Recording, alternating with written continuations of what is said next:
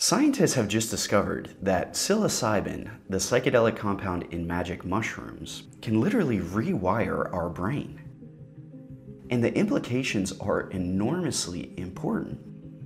My friends, I am truly convinced that we are on the cusp of a revolution, of a breakthrough in the entire field of mental health care and beyond when it comes to psychedelic assisted therapy. Now, it's no secret that psilocybin has incredible potential to treat depression, anxiety, and a range of mental health issues. But what if I told you that this psychedelic compound can literally grow new neurons in your brain? That's all according to this recent study from Yale University. In this video, I'll share some of the astonishing discoveries from this research and why this knowledge is crucial for understanding the true power of psychedelic plant medicines. If you stick with me here, I think you'll agree by the end of this video that psychedelics right now are poised to legitimately revolutionize the entire field of mental health and help millions of people all around the globe. So let's dive in.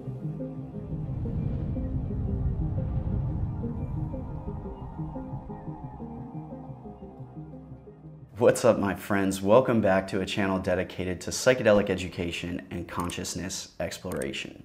My name is Jonas, and over the past five years, I've been working full time in the field of psychedelic assisted therapy. During that time, I've had the privilege of personally facilitating thousands of psychedelic journeys, and truly, it never ceases to amaze me just how profoundly transformative a single psychedelic experience can be when used in a safe and supportive setting.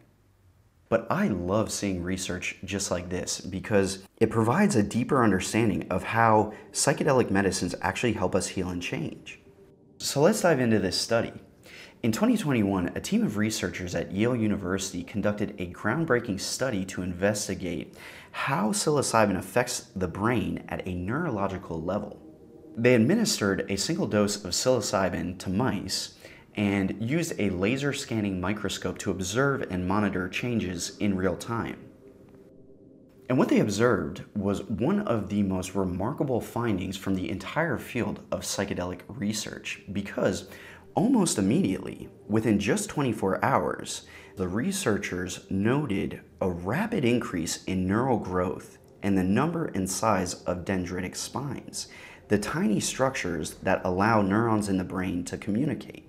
In fact, they found that a single dose of psilocybin led to a 10% increase in the size and number of neuronal connections. That's within 24 hours, within one day of administering psilocybin. But what's even more amazing is that these changes were sustained. A month later, the researchers noted that these changes in the brains of these mice were still present. I mean, it's truly impressive that a single dose could lead to such rapid and sustained changes in the brain structure of these mice. The lead researcher, Dr. Alex Kwan, stated, It was a real surprise to see such enduring changes from just one dose of psilocybin. These new connections may be the structural changes the brain uses to store new experiences.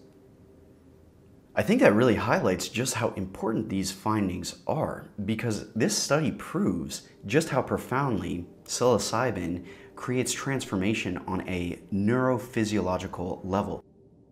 Really, the key conclusion here is that psilocybin doesn't just create temporary shifts in our perception, it literally rewires the brain for long term healing. And this helps to explain some of the incredible outcomes that we've seen from research into psilocybin as a treatment for depression.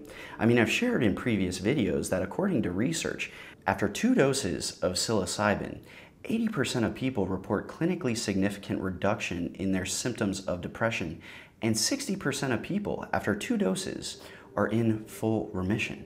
Their depression is gone. We know from research that neuroplasticity and neurogenesis are directly linked to learning, to memory, to overall cognitive function, and to mental health.